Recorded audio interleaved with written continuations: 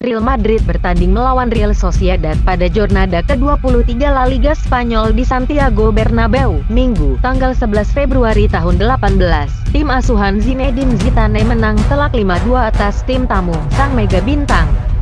Cristiano Ronaldo tampil perkasa di laga itu dengan memborong 3 gol alias hat-trick. Dilansir dari Marca.com, tanggal 11 Februari tahun 18, CR7 mencetak gol pada menit ke-27, 37 dan 80.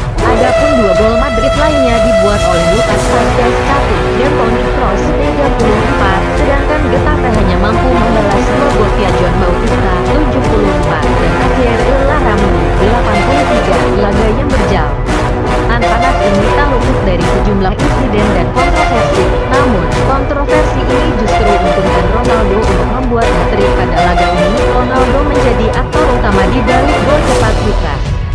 Basket saat laga belum berjalan semenit, dia memberikan umpan manis yang bisa diselesaikan dengan baik oleh Vasquez. Proses terjadinya gol cepat ini juga terbilang unik para pemain belakang Sosiet.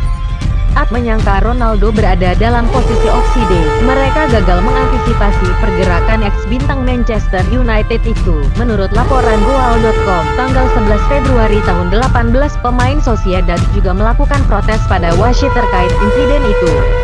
Namun gol tetap disahkan sang pengadil lapangan. Posisi Ronaldo saat menerima umpan dari Marcelo masih menjadi perdebatan. Ada banyak pro dan kontra terkait gol pertama Los Galacticos di pertandingan. Namun apa pun itu, Ronaldo memang cerdik di laga ini. Dia adalah bintangnya, aktor di balik kemenangan besar Madrid. Mantan pemain termahal dunia ini mampu lolos dari I perangkap offside dan memberikan umpan matang hingga terciptanya gol pertama El Real di awal laga. Salut untuk Ronaldo. Ronaldo lagi-lagi mencuri panggung di laga ini. Pemain jebolan Sporting Lisbon. N ini mampu membuat hat-trick pada menit ke-80. Peraih lima kali Ballon d'Or ini memanfaatkan bola rebon hasil sepakan keras Gareth Bale untuk menambah pundi-pundi gol di laga semalam. Para pemain Sosi Edat kembali melakukan protes tak terima gol Ronaldo. Menurut mereka, Ronaldo sudah berada dalam posisi offside saat mencetak gol ketiganya. Wasit tak bergeming dan membesarkan gol pemain bernomor 7 itu.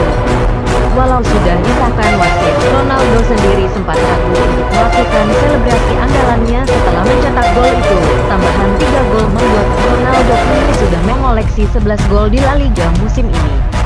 Dia kalah jauh dari sang rival, Lionel Messi, yang sudah mencetak 20 gol sejauh ini. Nah, itu tadi dua kontroversi di laga Real Madrid vs Real Sociedad yang masih jadi perdebatan. Terlepas dari semua itu, sejatinya